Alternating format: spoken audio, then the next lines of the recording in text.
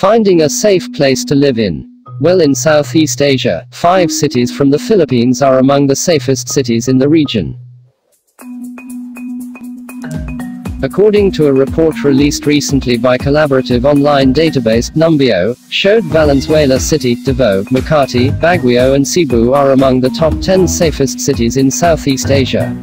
Numbeo is an online database that provides information about the living conditions in countries around the world. Valenzuela City is the second safest after Singapore with 25.21% and 74.79% crime and safety rates, respectively.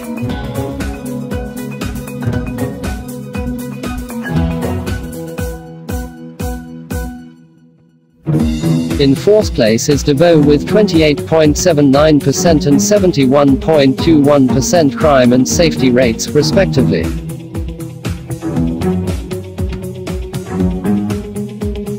Makati came in fifth with 39.56 and 60.44%.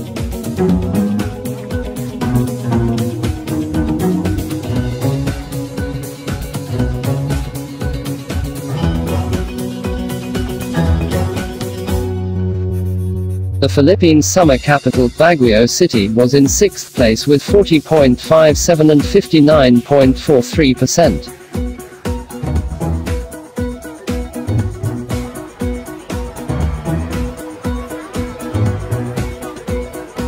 And finally the Queen of the South, Cebu ranked 8th with 44.28 and 55.72%. Subscribe now for more videos to come.